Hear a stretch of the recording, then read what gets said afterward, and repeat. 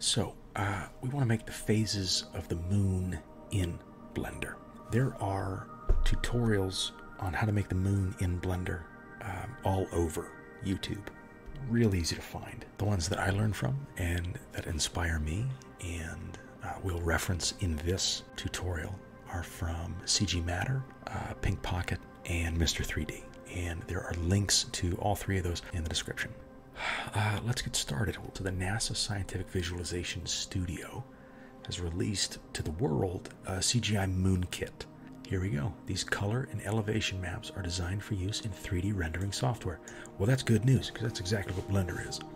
They are created from data assembled by the Lunar Reconnaissance Orbiter Camera and Laser Altimeter Instrument teams. So, uh, the NASA's LRO, uh, Lunar Recon Orbiter, shot around the moon and got all these pictures and this elevation data, and then they composited together to create the whole moon surface, which is amazing. Now, this is essentially a flat surface, but don't worry about that because the displacement right here, this is what is going to give our uh, the surface of our moon depth, you know, for craters and such. Here we go. And we can read about that right here. The displacement map, also known as a height map or elevation map, was taken directly from the latest, as of spring 2019, gridded data products of the Lunar Orbiter Laser Altimeter Instrument Team, or LOLA for short. Lunar Orbiter Laser Altimeter. LOLA. Uh, data is archived, and this is again, this is this is a gift from science to the world. Okay, everyone has access uh, to these files, and everyone can make their own moon, which is awesome. So thank you, NASA, and thank you to the American taxpayer. Uh, we appreciate that. So once you've downloaded the color map and the displacement map, the height map, the elevation map, all the same thing, and which which ones you download, it's going to be up to you.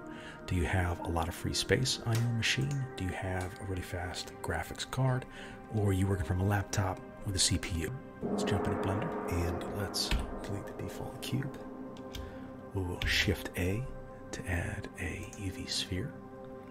And then we're going to come over here and we're going to double the number of segments. That's important. If we zoom in, all we're doing is uh, hit, scrolling our middle mouse wheel out, scrolling our middle mouse wheel in. Uh, we're going to double the number of segments here to 64. And you can see we've created more geometry. And now we're going to double the number of rings here to 32. And we've created more geometry right there. Okay? Now we're going to shade this smooth to make it, well, smooth. So we're going to right click on our mouse and it's just right there for us. Shade smooth. Okay? Now I'm going to come up here into our collection panel and I'm going to rename the sphere moon. Okay? Because it's we we want to get into the habit of naming our layers. That's why. That's that's just good practice. Okay, now that we've done that, you can up here we have different workspaces. Okay, so this is our this is this is our, our main 3D workspace up here. It's called the layout. What we want is shading right here. Uh, we tab into the shading workspace. zoom in a little bit. We're just gonna uh, shift and middle mouse click. Just if you want to line this up, which you can. Now down, we're gonna come down here. Okay, we're gonna add a new material clicking new, and it pops up right here. Okay. Now to move around this workspace right here uh, is all middle mouse button. Okay, so if you click and drag, you're just gonna have a hard time. But if you middle mouse button, you can you can move. And now we're going to connect. This is a node right here. We're going two connect to types of nodes to create our 3D piece. Now we're ready to roll. Let's jump back into NASA for more for some more directions. Within 3D animation software, an object like the moon begins as a simple geometric shape. In this case, a sphere. Okay? That's exactly what we did. Look at this. Boom. In our 3D animation environment, we begin with a simple geometric shape, in this case, a sphere. Okay? We got it. Now, what are we, what are we going to do right now? If you've known me long enough, you know I love three things Declaration of Independence, the entire canon of Bob Seger and the Silver Bullet Band, and saving your work. So everybody hit Control S and save your work. Now what's NASA I have to say? Texture maps, like the ones on this page, are used to add detail to the model.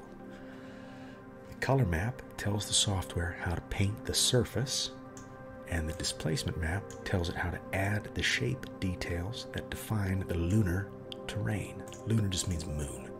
Lunar is a fancy word for mooner. And without them, the moon model is just a smooth monochrome ball. That's that's what we have right here. Boom, smooth monochrome ball. So we're going to paint the surface with our color map, and then we're going to add the illusion of depth with our displacement. So I'm going to zoom back out. We're going to take flat rectangular surfaces and wrap them onto a spherical plane. Okay, so what we've done is we've added a material. This is just default. You can call it whatever you want to, okay? I'm going to call it lunar, okay? Nice. Going to hit enter, lock that in. So this is my material called lunar and your roughness is a 0.5. You can keep that at 0.5. I'm gonna make it 0.65 because it appears to be social convention, so I'm gonna run with it. Okay, now it actually gets pretty cool. I'm gonna click and drag this over here. I'm gonna let go, and then I'm gonna click over here. Okay, Shift A, the menu pops up. We click to search, and now we wanna search for image texture. Okay, that's right there. So that's one way to do it. If you want to go Shift A, if you don't want to search and you just want to go texture, image texture, that's another way to do it. But some people like to search, and some people like to find it. It just, it just it depends on you, man. Now you can see we got yellows and yellows. This is just Blender being awesome. So we thank you for that, making sure to tell us what needs to connect to what else. A green doesn't go with a purple because a purple is not green, but a green does go with a green because green is green. Um, okay, and here you got color and base color. We're going to connect that because we got yellow and yellow. Now, this base color just eliminated here. It's no longer on the you know the main lunar principled BSDF uh, shader. It is moved over to our image texture. This node, this whole node here, has connected to and replaced this little node, which is a part of a collection of nodes. Okay? You with me so far? I hope so. I hope you're with me so far. Now that we're here, we're going to click open and let's go find our NASA moon data. I'm going to click open and just like that, take a look. It maps onto our sphere. So what was just a simple geometrical shape is now the moon. There's an accurate moon color map on this thing, on this son of a gun, which is really kind of cool right? So look at this. So here's your color map. I'm just zooming out, zooming in, and here's your moon, right? All the moon is moving around this. So that's how you take a flat rectangular piece of uh, pixel data and wrap it onto a, an oblate spheroid in Blender, which is really kind of cool. I just tapped one right there. That's why I said. So this is uh, three in side view, one in front view. I just kind of I wanted to have a, an idea of where I was. Okay. Everybody hit Control S to save your work.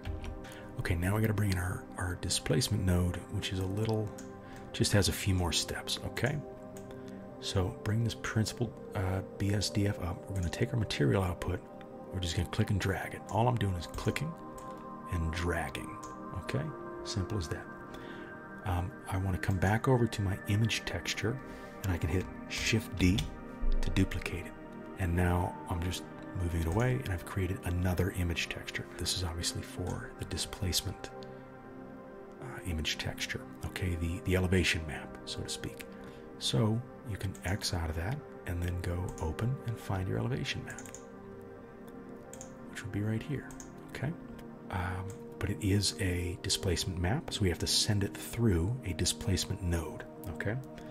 Uh, if you look here, you're going to see purple and yellow. So we can't connect these two. We kind of need to, but purple here has to go to a purple. So let's search Shift A, search for displacement. Shaboom, and just like that, there's my purple. Okay? So when I bring a color map into the height of the displacement map, because that's what the, this is, here you go, here's your height, right?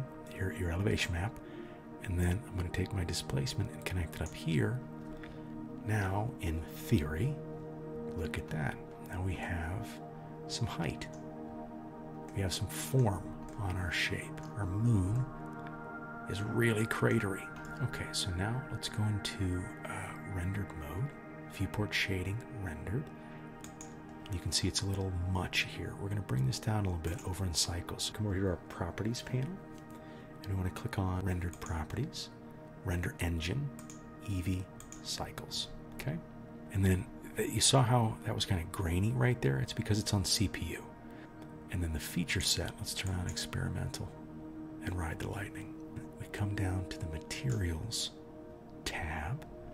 We scroll down to settings we scroll down to displacement and we go displacement and bump. Okay, okay, so now come over to your displacement and uh, do it yourself. Okay, you can use this now to create how much uh, of an effect it has, and we're going to go 0.06. All right. From there, we want to add a subdivision surface modifier. So we're going to click this wrench right here, add modifier, subdivision surface modifier. And then if we do an adaptive subdivision, we get even more geometry. Okay, so that is essentially our moon with a few exceptions. So the background is gray. Okay, now in outer space, we know that uh, everything's just, just blackness. Okay, so I want to click on this world icon up here for our world properties and our background color right here. Bring this all the way down. And now it's blackness. Okay, but in two steps, just in adding two image textures to a sphere, we now have the surface of the moon, which is really kind of a neat thing. Uh, so that is how you work with uh, NASA data in Blender. And uh, in the next video, we will we'll position lighting and we'll talk about tidal locking and why we always see the same side of the moon uh, relative to where we are uh, on the surface of a curved planet. So get up, get a stretch, get a bend, and we'll see you in the next one.